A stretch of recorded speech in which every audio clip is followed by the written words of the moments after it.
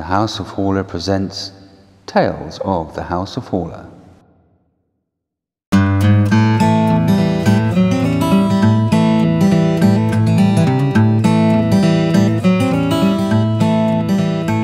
Bernice, the lovable green tree frog, sat on the edge of a branch high atop the mighty oak. She watched the sun rise and set. She watched the moon rise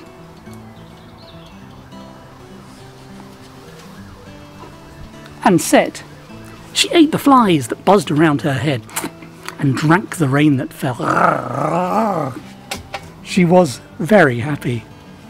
Every night, Bernice would find a comfy nest of leaves somewhere around the top of the mighty oak in which to settle down to sleep.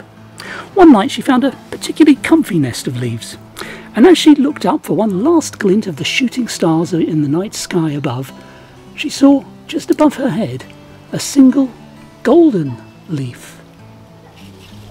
It looked so nice that she wanted to eat it, but the flies would have been jealous. The next morning, instead of leaping and springing around the mighty oak as usual, Bernice remained in her nest of leaves and stared at the golden leaf and smiled at it.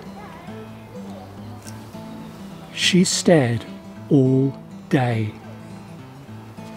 The flies, who had not been eaten all day, buzzed around Bernice angrily. Why aren't you eating us? demanded the Fly King, who, just to be clear, was an actual fly. If you do not eat me, the Fly King explained, then one of my two million children will not become Fly King tomorrow. Bernice looked at the Fly King. Petit pois, je n'ai pas femme, j'avais la moi. At this, the Fly King began to cry. Though he did not speak French, may have noticed I can't speak French very well either. Shh. He fell in love with Bernice's voice.